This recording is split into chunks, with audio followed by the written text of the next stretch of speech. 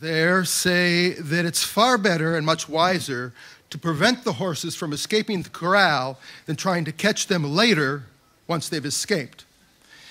Just the making of even spurious contentions and allegations often attracts significant media attention, and therefore the adage, if there's smoke, well, there must be fire, turns into a public affairs coup for Israeli distractors. By turning a myth into something that becomes an acceptable part of the public discourse, it starts to make people wonder, think that there must be, as a result of this public discussion, some basis for these false accusations. And nowhere is this more pronounced. Nowhere is this more marked than in international forums.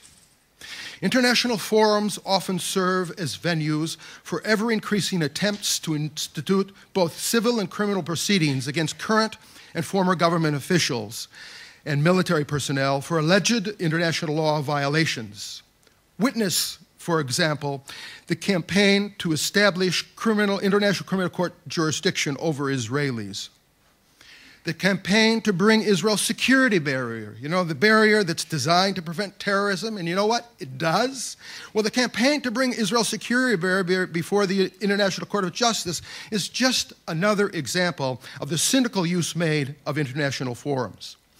Abuses of international forums to, to demonize Israel and apply double standards to it are designed, among other things, to intimidate Israelis from acting out of fear of prosecution.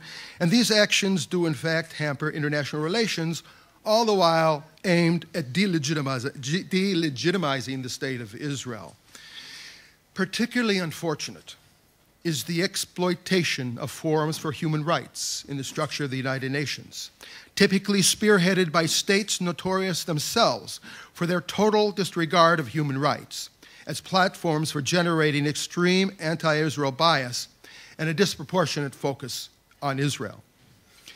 Especially lamentable is the fact that due to the compulsive and obsessive fixation on Israeli policy and the valuable time thus spent unjustifiably reproaching Israel, appropriate and urgent attention is not given to truly grave human rights violations being committed elsewhere in the world uh, today.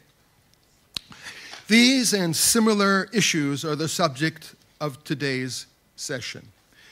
Please allow me now to extend a hearty welcome, a hearty welcome to our distinguished panelists speaking in the second session on anti Israel activity in international forums, legal aspects. A, Israel's former ambassador to the United Nations, Professor Gabriela Shalev, member of Knesset, Dr. Nachman Shai, Professor Aryeh Naor, and the United States Ambassador to Israel, Daniel Shapiro. A, I first met Nachman Shai when we were both serving together in the permanent mission of Israel to the United Nations in New York some, some years ago.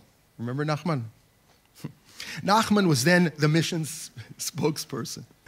It is therefore with great pleasure that I introduce to you my friend, my personal friend, member of Knesset, Dr. Nachman Shai. Dr. Shai currently serves as a distinguished member of the Knesset Foreign Affairs and Defense Committee, and in fact heads up the committee's delegitimization team.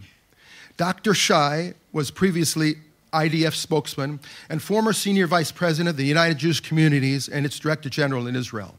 Dr. Shai will talk on Israel's response to the challenges of the new war. Dr. Shai,